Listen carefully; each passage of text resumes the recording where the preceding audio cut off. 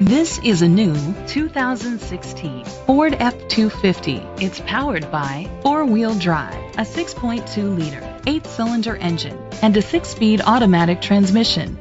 The features include a tilt and telescopic steering wheel, split rear seats, privacy glass, air conditioning, power steering, and AM/FM stereo.